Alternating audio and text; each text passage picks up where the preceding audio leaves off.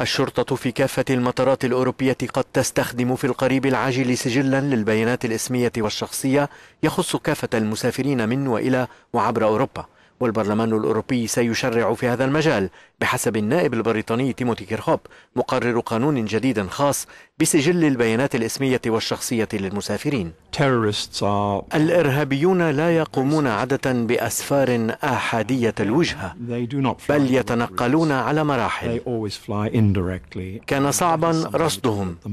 إنما الآن وبواسطة المقترحات الجديدة سيسهل رصد الإرهابيين وستتمكن السلطات من تطبيق القوانين الخاصة بالمشتبه بهم.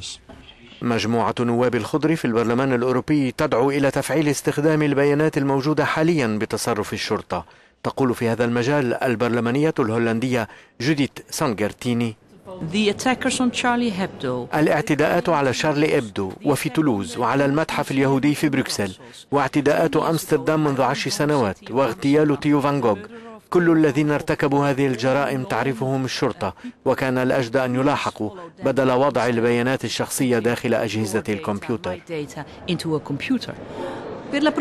من البرلمان الأوروبي مارغاريتا سفورزا من يورو نيوز تشير إلى أن العمل بسجل البيانات الإسمية والشخصية للمسافرين يلزمه تشريع يتبع بمقترحات محتملة من المفوضية الأوروبية ثم يوافق على ذلك القادة الأوروبيون.